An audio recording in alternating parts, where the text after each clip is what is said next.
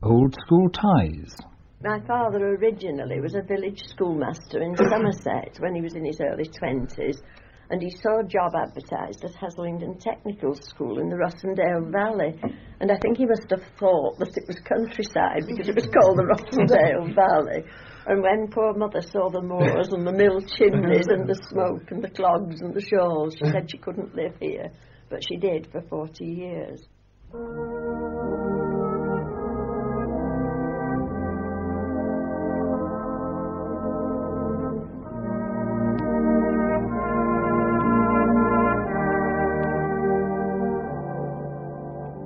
Atmosphere was very dirty in those days, though. Oh, yes. It? Yeah. We used to stand in our shop window and you looked over and there was a haze always. Hmm. It's quite clear now, beautiful. And the houses were all black stone, That's right. weren't they? I thought they were built of black stone when I was little. And it was lovely going into the mills if you weren't used to them. The machinery clacked and the women shouted. And on Saturdays, when the mill was empty, we used to go in and get into the uh, skips, which with the top were all cotton, and slide right down the chutes to the bottom of the mill.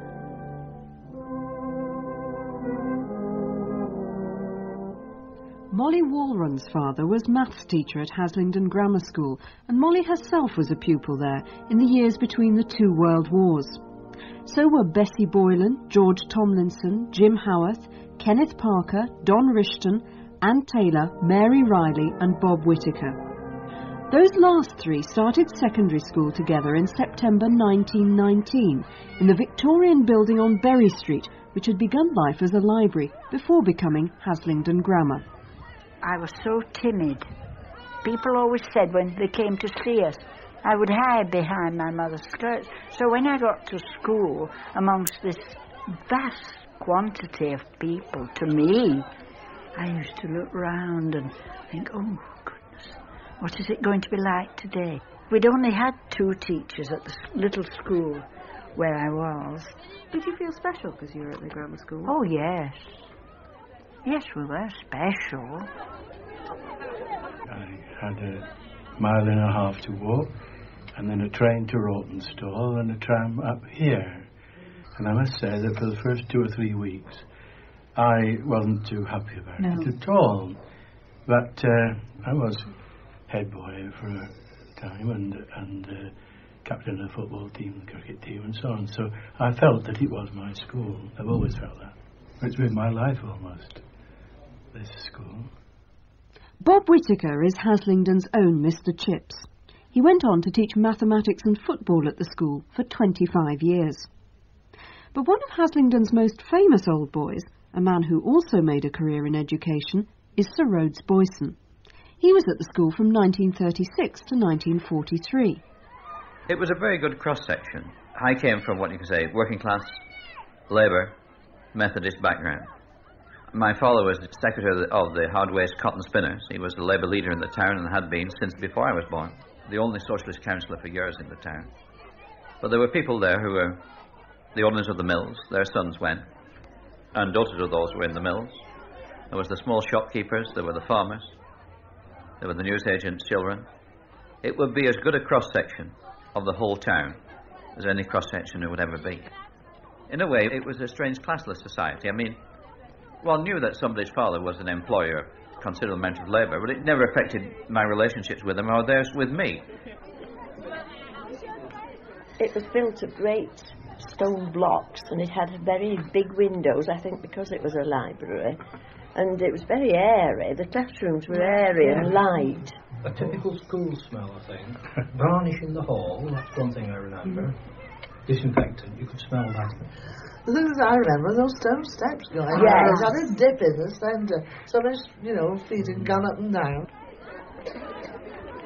Most people saw it as a move from blue collar work to white collar work. In the 1930s, when we had very heavy unemployment and a lot of the cotton spinners in my father's union were unemployed, people at the town hall kept their jobs and people in offices kept their jobs. It was the security, you were there for a pension at the end. The grammar school was a way to the white collar job. It was the town school. The town as a whole had a pride in it. And the grammar school, as a result, went out into the town. and there was this great feeling of a oneness. The fact, I suppose, that the school badge was the town coat of arms. Yeah. The only thing is, was that theirs was nothing without labour, and ours had a Latin tag, but it was the same. We had um, nice gym slips, you know, two big box pleats down the front, two big box pleats down the back. And we had shantung blouses. Well, never, I don't know what's happened to shantung. It, it's just disappeared, hasn't it? It's like crepe de chine. It's one of those things. But it was very, very nice, soft, silken material. And we wore brown woolen stockings, summer and winter. Uh, they weren't fun in winter, but God, they were hot and uncomfortable in summer. You know, they, were hideous things, really. And they didn't fit properly. uh, They were horrible. And then we had the school blazer, which was navy blue, and it had um, HGS on the pocket, as in grammar school. Unless you were a prefect, in which case it had the coat of arms on. And our hats, there were um, all these sort of pudding basin hats, you know, the, the usual, they just sort of sat on with a brim all the way around. Straw in summer and velour in winter. The velour ones were very nice, actually. But for some families, it must have been quite expensive. I didn't wear the uniform for the first term, I remember it, because we just couldn't afford it. I mean, we, we were poor that way. We were nonconformist poor, that's different from other poor, in the sense every bill was paid, but there was no spare money. It was just a question at that time. The priorities had been made, and there was no, no money left for Rhodes's uniform. And I think for a long time I was the only boy in the first year without uniform. Maybe that's made me belligerent for the rest of my life. I think in those days, uh, Miss Morton used to Oh, organise a, fort- a oh, weekly yes. or fortnitly inspection Oh, of the girls in the school hall. Yes. The boys were compelled to leave, and the most lurid rumours used to circulate about what went on at these. I can, I can let you into a secret. How can I? I have I'm one of the people who have gone through the veils, you might say. Uh, I know that there was a notice used to go on the hall doorway, sort of out of bounds, private, keep out. and the whole of the front of the stage, there were girls kneeling along the front of the stage, and she was going around with a ruler to Yeah, make sure yeah, that the gym, gym slips slips, that's mhm. right. just came to the bottom. And they just had to touch the back of your calf of your leg. My mother used to make me wear a long sleeve vest under the shantung blouse. Oh, yeah. I was covered with confusion when we had to take them off for gym. Right, when I say go, run towards me. Ready, go!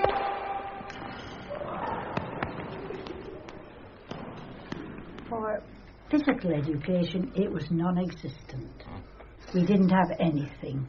This is 1919 to 26. We, we hadn't got a, a gym at all. We had some drill, I, I think. The first year was drill. Marching from one corner of the yard to another corner of it. And the history teacher took it, and she hated it, I'm quite sure. Getting us into um, good soldiers, just marching, and right arm, left arm, and all this business. And country Yeah. dancing up the corridors. There was nowhere else to do it. It was a bit different in my day. By the time I went, it wasn't all that long after, we'd got the gym. And Mr. Law and the gym teacher, do you remember Mr. Yes. Law? Yes. Yes. She would go down and stay on when the fifth form and the sixth form were down there doing sport on a Wednesday afternoon. And she would bring down her cricket bat and her pads because Mr. Lawn paid for English ladies against the Australian ladies. And when the official period was over, she'd say, Come along, boys. And she put a sixpence on the off stump and a shilling on the middle stump and say, Try and bowl me out now. there was this sort of spirit that existed. Problem we had, I think, was that we had a Mr. Jenkins. to teach I.G. I.G. Jenkins. That's right. I.G. Jenkins. But after about 12 months, he left. Called, was called up for Yeah. He was called up. And I think Neil McTaggart Yes. taught. Yes. Well, he was the art teacher. Yes, he was. it, it wasn't highly organised as a PE lesson. But it was very enjoyable. he was very handsome. And uh, the girls sort of were always in a flutter about him. Just a young man. And, Very handsome. Oh, very handsome. He used to wear silk shirts, and you know, when he leant over your shoulders and cracked your drawing, you went, oh. I was head boy from 1925 to 26. And I was head girl from 26 to 27. I remember you as head girl. You used to stand at the bottom of the stairs, and if we ran down the stairs, you would make us go to the top and walk down again. I remember being put in detention with uh, Susan Holden, Susan Walsh that was, we were in uh, the physics lab downstairs, and Susan Holden said to me, when he comes in, let's get under the table and hit his legs with this meter rule. so when Mr. Adamsey came in, we were under the table and we were fishing about for his legs. Oh, that got, got punishment. We were both put in detention. I, I remember once uh, during assembly, Mr. Weston, uh, who was a great disciplinarian, as you Oh, all yeah. know, Mhm. and he suddenly announced, well, Mr. Boylan went outside his study after assembly. Well, you know, he went sick and his knees wobbled and wondered what on earth I'd done. What I had done, actually, I persuaded my mother to buy me a pair of Lyle's stockings. And they were fully fastened and they fitted and they had clocks at the side. They were beautiful. And I went outside his study and I was told to get home at dinner time and change back into, you know, brown woolen ones like everybody else. And that was, it wasn't actually discipline, but I was meant to be very, very small. I think the cane was much more frequently used then than perhaps 10 years later. Coming late, for example, warranted the cane if you did it often enough. I remember a, a person standing next to me in the hall during assembly. He's now a member of staff here. We were talking to each other, and the headmaster at the front picked him out. I was lucky, and said, Ayrton, leave the hall. so Jack Ayrton went out of the hall. The following morning, the same thing happened. Unfortunately, he was picked again. Ayrton, leave the hall, and he received the cane for that. Oh, Musbury. I was in Musbury. Good. 1933. 1931 to 2. Oh, there's me. And you all runs. I feel quite young again. I was at school until 1926, and up to that time there wasn't a house arrangement at all. But when Mr. Lodge was appointed, uh, he introduced the house system, and he called the houses after the local hills uh, Holcombe Hill, and Musbury, and Grane, and Cribden. There was a shield for schoolwork. And if you look at the shields in the in the corridor out here, they show who the who the head boy and head girl were, who the prefects were. Mary Riley. I'll be blessed. Well, I don't know. Head girl, Mary Riley. And who is he? Edgar Riley. Oh, That's yes. a cousin of mine. He became a headmaster, didn't yes, he? he- in Yorkshire. We felt very loyal to our houses. I was the head of Musbury House, and I met somebody quite recently who I hadn't seen for many years, and she said, "Do you remember when you were in Musbury House and we won all the sports that Yes, year?" Do. So she must have uh, remembered it for all those years with pride, and we were proud if we won the sports or the uh, Shield for Scholarship.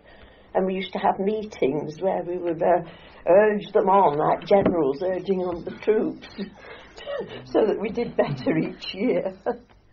Two classes came in, a scholarship class and a non-scholarship class each year. And the scholarship class was called the, the A stream and the non-scholarship class the, the B stream. And there were about 25 to 30 in each. It was intended that the A stream did their examinations in four years to GCE, or the school certificate at that time, and the B stream in five years was the, the big difference. And the taking of Latin. I was in the B stream there. My I uh, didn't pass the 11 plus, and but my father insisted on me in the other entrance examination. And I think the fees were it was either nine pound a year or it was nine pound a term. You had to take English, you had to take one foreign language, you had to take maths, you had to take one of the physics subjects, physics or chemistry, I took chemistry. One of the art subjects you could take, uh, history, geography, or what have you. And then there were other subjects which took, I mean, I took art and history of art, and um, I took domestic science, but they didn't count. Those others, you had to have those. And if you picked on one of them, you just got nothing. I don't know whether it was quite as fair as it is now. Perhaps we didn't get English language, so we got nothing at all. You got no certificate, you got absolutely nothing at all. So, in some ways, it was more difficult. But at the end of it, uh, if you had a school certificate, you had good all round knowledge, really. The choice in the fifth form was domestic science or physics or Latin. Yes. Mm. Apart from two girls who took physics, all the all the girls opted for domestic science. Have you all got your tents prepared? Don't, don't start with melting anything until your tents are prepared. Parkin biscuits, potato cakes, cottage pie. What else? Ginger sponge pudding. This is actually the cookery book Yes, that you we had when you were wrote. at school. Yes, we wrote it down. Uh, custard sauce, lemon sauce, boiled fish. Oh, wasn't it exciting? Parsley sauce and fish cakes, lemonade. That's a good recipe. And queen of puddings. Notes on suet pudding, dried eggs and egg powder, and our order of washing up. Order of washing up. Yes.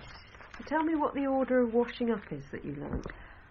Collect all the things to be washed and arrange neatly on or near the sinks, with each with its own kind. Steep pans and dishes with cold water, and less greasy, then use hot water and a little soda. Get ready hot water and soap, also a clean, dry towel, scrubbing brush, etc. Wash in order of cleanliness, the cleanest things first, dear. Turn upside down to drain and wipe dry while still warm. Wash pans and scrub boards. Scrub the sink. Wash the bowl. Wash and rinse towel and dishcloth. Dry in open air if possible. The end. I hope you wash up properly. Now then, Do you is it off? Do you still wash up like that? But yes.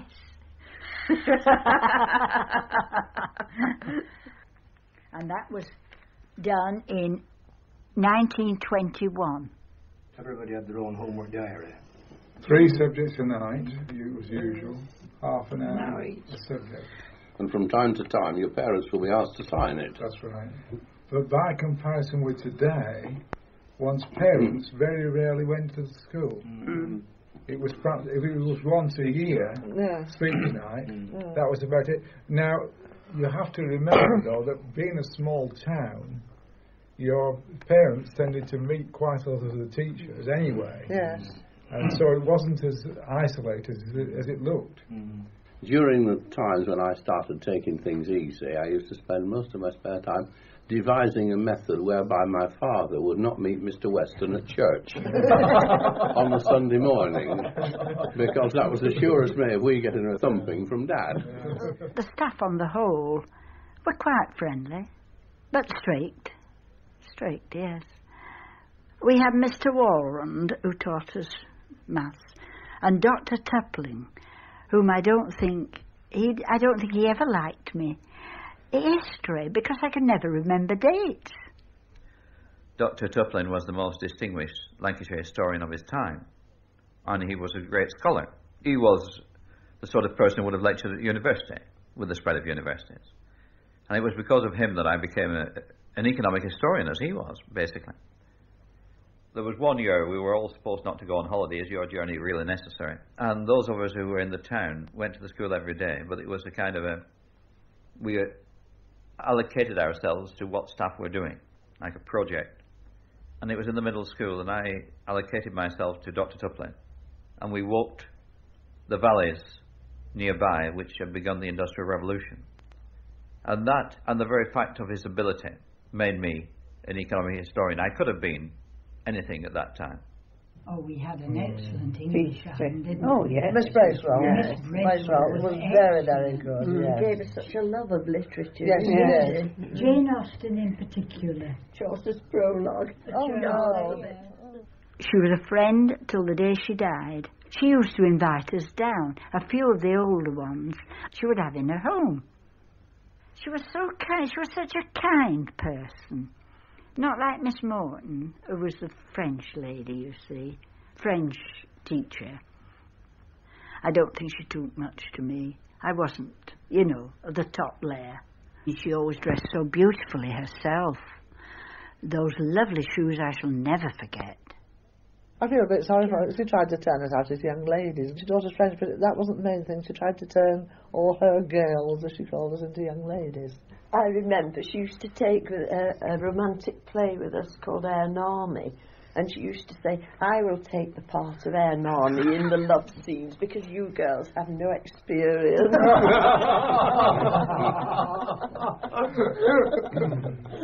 Little she knew. a small one, though. A small one. It's tiny. I thank you. These children nowadays, they don't know how lucky they are being able to have meals. We couldn't have meals unless we went out to little shops round about. We hadn't any. We had to bring our own. My, my parents, my mother used to make them, and we used to bring them to school and heat them in the gas oven. If we didn't have that, we went out to two cafes in Haslingden. Barnes was, was one, and Hallam's was the other. And often I had a plain white tea cake with a, a bar of chocolate. Somebody told me that was healthy. But there's another place that we went to called Woods, up by the police station. It was a, a sort of hot meal. You for sevenpence, I think it was. You could get a bowl of soup, three pennyworth of meat pie, and uh, two pound with of rice pudding. You see. On the other hand, it was commonplace for everybody to go to the chip shop on Friday. Don't know why they did, but it was one of those things that it was understood that they went to the chip shop on Friday. So those were the three places.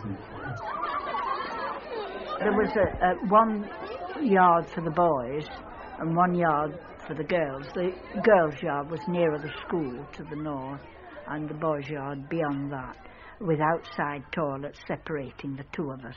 No, we didn't mix at break times. That wouldn't be nice, would it?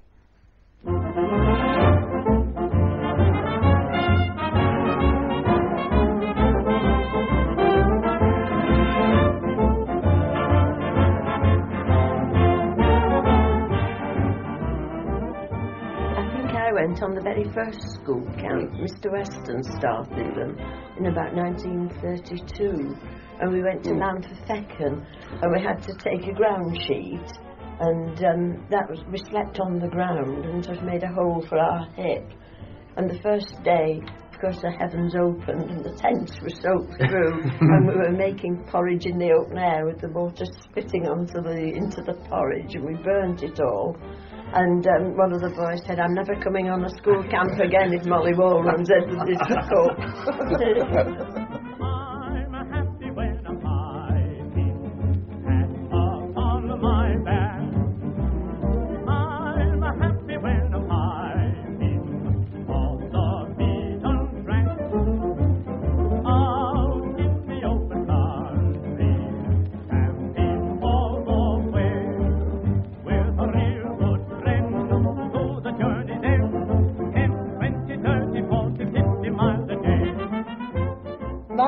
Was the first one that went uh, abroad from school.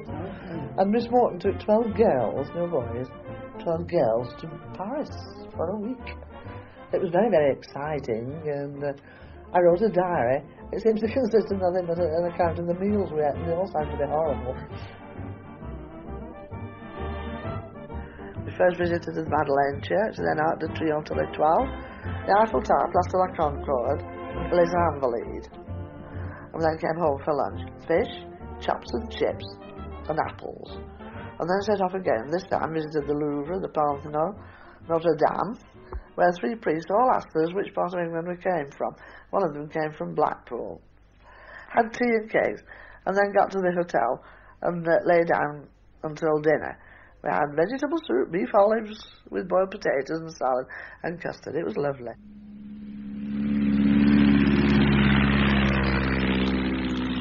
Morgan Tattersall was one of them, and their father, Fred Tatt, you know, the, he was a manufacturer, quite wealthy, and he sent some money, and um, so for a special treat, she took us with this money. We went to Orly Airport. it sounds a funny thing now, but we hadn't seen many aeroplanes then, you know, biplanes and things like that. We thought it was terribly exciting at the time.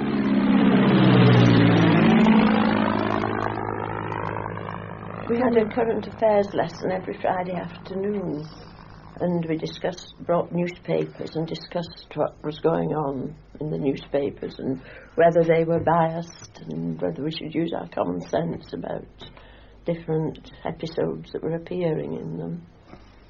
It was just before the war. People knew, I think, that uh, war was going to come sooner or later, and I think we all felt uneasy. But uh, of course, you go about your ordinary life. You can't, when you're young, you don't worry too Mm. much about what's going to happen in three or four years hence. But you still felt as though you might be living on a knife edge when you did think about it. And we used to listen to Hitler speaking on the wires. and Of course, we didn't do Germans. It sounded so menacing. Deutschland und das deutsche Volk sind schon sehr schwere Katastrophen Herr geworden. Freilich, ich gebe es zu, es waren immer Männer notwendig, um die dann erforderlichen Maßnahmen zu treffen und sie ohne Rücksicht auf Vernein oder Besserwisser durchzusetzen. Ein Haufen parlamentarischer Angsthasen eignet sich allerdings schlecht zur Führung eines Volkes aus Lohn During the war, we didn't talk about the war much at school. We did it at home, and and really, the objective seemed to be to get the school running smooth as smoothly as possible without any interference from the war, if it could be helped. I remember Miss Morton in the French room. Um, she was very upset by what had happened to France. she had a big picture of General de Gaulle on the wall. Do you remember? And she used to talk about France, uh, almost reduced to tears. But she used to have us singing patriotic French songs as well. Some of the masters went, the staff who were called up. I read the war news. It was talked about at home. I don't think it had any effect upon the pattern of the school at all, uh, except I joined the Air Training Corps.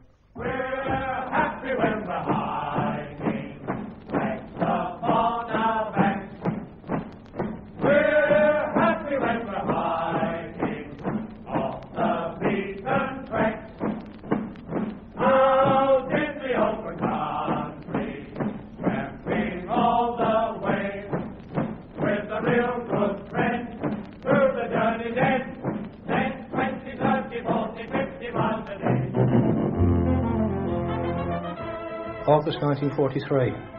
We went pea picking and potato picking at near Ormskirk, Bickerstaffe. We had a hilarious time. Lord Boyson was in charge of one of the tents. I felt it as part of the war effort I ought to go pea picking. I looked on it with quite pleasure. I mean, we, we did a lot of cycling. You know, it was pleasantly social without any tensions at all. We used to sit outside. It was double summertime in those days. It didn't go dark until midnight. And we used to be outside discussing the, the problems of the day. And of course, Rhodes Boyson, he had an answer to all the problems. We, we thought he was going to be a victor, I think.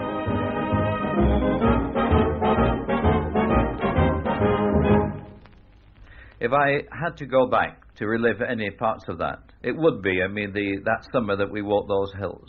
It was the enjoyment of soccer on the pitches. It was um, a, a good hymn sing at the, at the morning assembly. It would be three or four of those things I would go back to. Oh, later, much later, the old students put on a play at the up at the old grammar school, and I was in it. And after one of the performances, I was walking down the corridor, and Mr. Weston came and walked along with me. He was very, very, a very aloof man, was Mr. Weston, and very, very good at headmaster, but he never fraternised with the pupils at all. And he said, "Will you have a cigarette, Bessie?" And I said, "Thank you very much." And we walked down the corridor, chatting and smoking. And I can remember coming home and saying to my husband, "For the first time, I feel really grown up." Mr. Weston gave me a cigarette. The Old School Ties was presented by Jenny Mills and produced by Sarah Rowlands.